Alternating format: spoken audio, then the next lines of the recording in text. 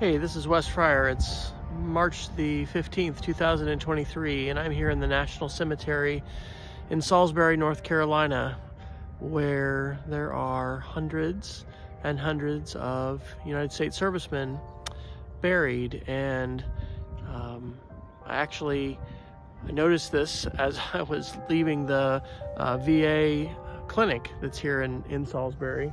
Um, and then I've actually just made a video. There's a um, a cemetery, a, uh, a, burial ground for African Americans that is just beside the National Cemetery over there that was used from the mid 1800s until I think 1960.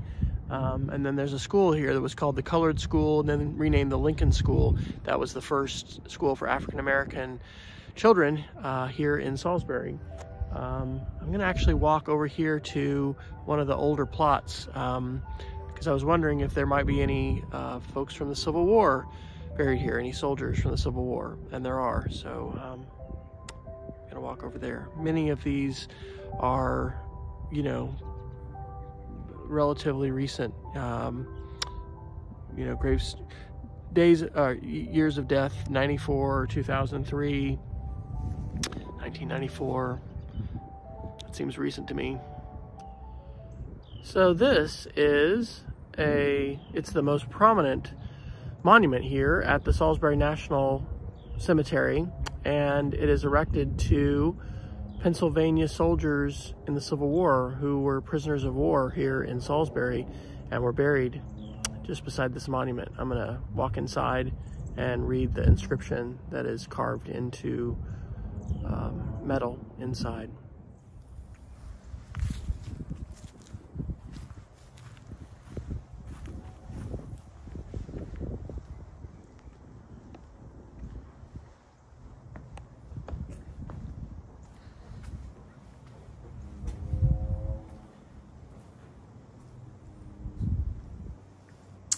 This monument is erected by authority of an act of the Pennsylvania legislature approved June 13, 1907, to commemorate the patriotic devotion, heroism, and self-sacrifice of the officers and soldiers of the Pennsylvania Volunteers who died while confined as prisoners of war in the Confederate military prison at Salisbury, North Carolina during the War of the Rebellion and were interred among the unknown Union soldiers and sailors in the 18 trenches at the southeast side of this monument.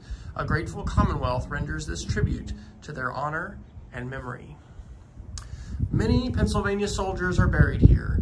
They were citizens of a state whose founders came across the sea and established a commonwealth where all men would be equal and under just laws, free to enjoy their unalienable, inalienable rights in the pursuit of happiness, unmolested by king or noble or prejudiced class. They used the sword only to preserve the peace and unity of their country, Twice on the soil of their state were crucial struggles for the Republic, first at Valley Forge that tested the courage and fortitude of the Patriot Army, then at Gettysburg that proved the nation could not be broken, respecting the example of the Romans who never raised emblems of, emblems of triumph over a foe. The Commonwealth of Pennsylvania erects this monument to perpetuate the memory of the dead and not as a commemoration of victory. Their memory cannot be forgot. Forever shall men's hearts revere their loyalty and hold this spot sacred because they perished here.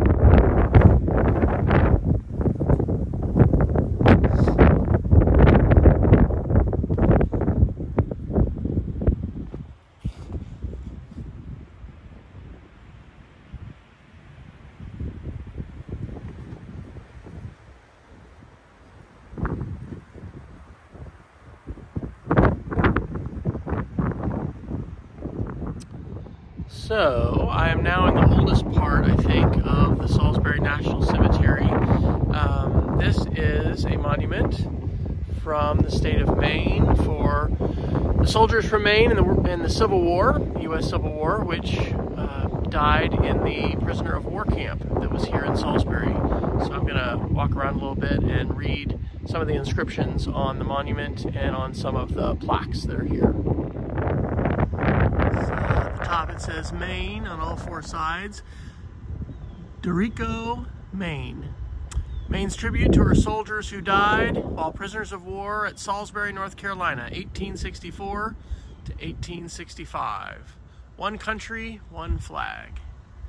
They fought for peace, for peace they fell. They sleep in peace, and all is well. To live in hearts we leave behind is not to die. And this is a monument dedicated to all of the unknown soldiers that are buried here. And all of these gravestones are marked unknown U.S. soldier. And these are trenches where the soldiers were buried. And this is what plaque says about Civil War Salisbury. Salisbury was a vital location and the Confederate government invested heavily in the city. Early in the war, an auxiliary ordnance installation was established here. The converted factory became Salisbury Arsenal and it produced munitions, guns, and artillery. In addition, the Confederates built hospitals, warehouses, and a distillery. The city housed the Niter and Mining Bureau the, and Commissary Department district headquarters. Finally, the Confederacy established a prisoner of war camp in Salisbury where thousands of Union soldiers were held until it was abandoned in February 1865. Union authorities also recognized Salisbury's strategic importance. In spring 1865, Union General George Stoneman and 6,000 cavalry rode into North Carolina. On April 12th, Stoneman attacked Salisbury. The Federals defeated the Confederate force of 800 and captured the city. Then they destroyed the railroad track and anything of use in a fire that burned for two days. Salisbury National Cemetery was established in 1865 around the old prison burial ground. By 1874, it occupied seven acres. In addition to the prisoners, 425 soldiers were buried here in individual graves, 92 were known. In the 1870s, the cemetery was enclosed with a stone wall. The entry features ornate iron gates cast with iconic military symbols. The original Second Empire-style lodge built for the superintendent was replaced in 1934 with the current Dutch colonial-style building. There are two state Civil War monuments here. The Maine monument, erected in 1908, honors its soldiers who died while imprisoned at Salisbury. The 25-foot tall granite monument features a statue of a Union soldier and polished ornamental cannon. In 1910, the Commonwealth of Pennsylvania funded construction of a 32-foot tall memorial pavilion. It is topped by an 8-foot tall bronze prisoner of war to honor its volunteer soldiers who perished here.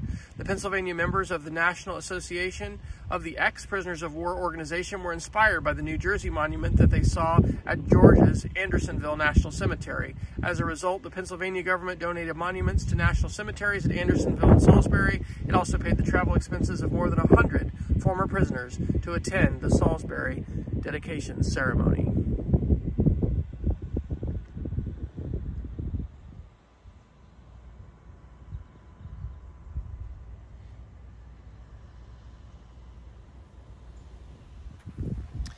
From the Bivouac of the Dead by Theodore O'Hara. The muffled drum's sad roll has beat, the soldier's last tattoo. No more on life's parade shall meet that brave and fallen few. On fame's eternal camping ground, their silent tents are spread. And glory guards with solemn round the bivouac of the dead. This is a map erected by the United Daughters of the Confederacy in October 1992. This shows the burial prison, the, the sorry, the burial trenches and Salisbury prison. You are facing the 18 trenches used by the Salisbury Confederate prison for the burial of prisoners, most of whom died after October 1864. And so you can see here where these are, and I think I saw in the in the grave locator a, uh, a grave for slot three, which is here. We're going to walk over there in just a little bit.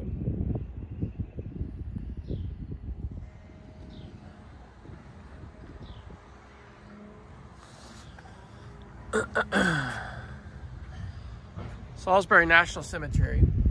Salisbury Prison was established by the Confederate government in October 1861 on the site of an old cotton factory. In preparation for the first prisoners, a portion of the grounds was enclosed by a stockade fence designed to hold about 2,500 persons. The prison was intended for Confederate soldiers who had committed military offenses and prisoners of state. However, the first Union soldiers arrived in December from Richmond, Virginia in an effort to reduce the number of prisoners of war there. During the early years of the war, prisoners at Salisbury were provided adequate shelter, rations, water, and sanitation, but all that changed on 5 October 1864 when 5,000 POWs were transferred to the prison. By the end of the month, more than 10,000 men were incarcerated at Salisbury.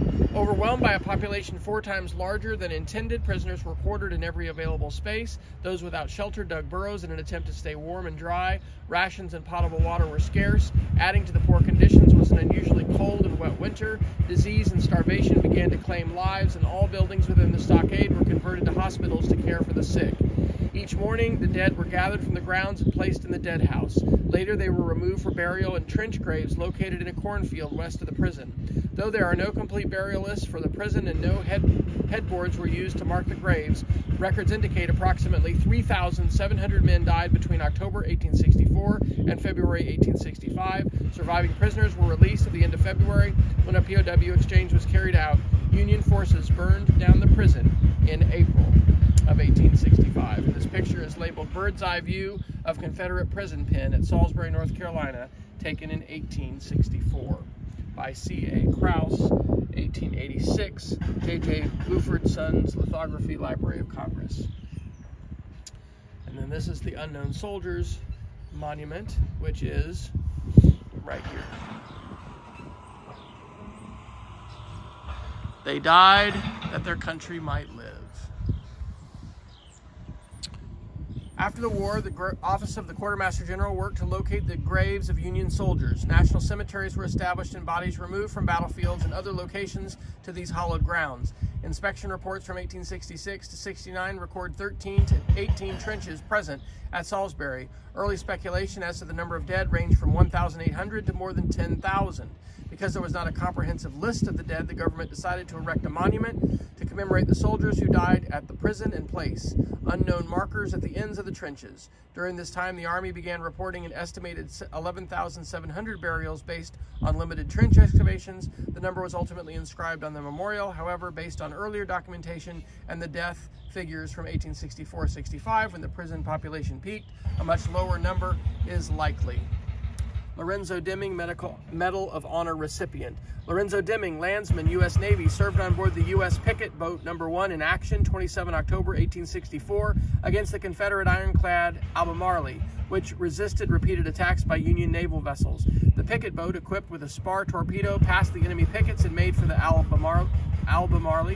Under fire, the small boat plunged on, jumped a log boom that encircled the vessel, and exploded a torpedo under the port bow. The picket boat was destroyed, and most of the crew of 15 was either taken prisoner or drowned. Deming is recorded as entering Salisbury Prison and dying there in February 1865. He is presumed to be buried in the trench graves. A memorial marker was erected in the Deming plot at Fairview Cemetery in New Britain, Connecticut in 1991, where there is also a large private memorial commemorating his service. The Medal of Honor, the highest award for military valor that can be bestowed upon a person in the U.S. Armed Services, was created during the Civil War. In December 1861, President Abraham Lincoln signed legislation authorizing medals of honor to be bestowed upon sailors and Marines who shall distinguish themselves by their gallantry in action and other seaman-like qualities during the present war. A similar bill authorizing medals for non-commissioned officers and privates in the Army was passed 12 July 1862. The medal pictured is the style awarded to Navy and Marine Corps, Corps personnel between 1862 and 1912. Such a medal was bestowed upon Deming's shipmates after they were released from prison in March 1865, and Deming's medal was sent to his widow.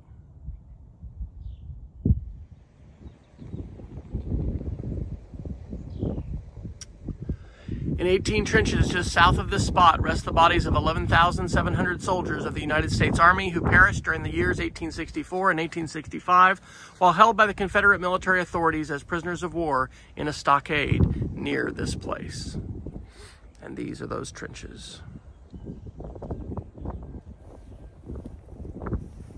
The country reflected upon the Civil War's human toll. 2% of the U.S. population died. Memorials honoring War service were built in national cemeteries. Most were dedicated, donated by regimental units, state governments, and veterans organizations, such as the Grand Army of the Republic. Decoration Day, later Memorial Day, was a popular patriotic spring event that started in 1868. Visitors placed flowers on graves and monuments and gathered around rostrums to hear speeches. Construction of Civil War monuments peaked in the 1890s. By 1920, as the number of aging veterans was dwindling, more than 120 monuments have been placed in the national cemeteries. Wow, so this was quite an unexpected uh, detour in my day today, but what a poignant reminder of the sacrifices made by so many men and women, soldiers, sailors, Marines, airmen, um, throughout the years um, in, the, in the service of our nation. Uh, as we find ourselves polarized and angry, and I think in some cases confused about what patriotism means, um, and how important it is that we work together to make this nation a better place. It's a good place to visit. Behind me are the trenches of the unknown soldiers buried here from many northern states, held in 1864 and 1865 during the United States Civil War. Confined here in Salisbury, North Carolina, and buried here in graves marked for unknown soldiers.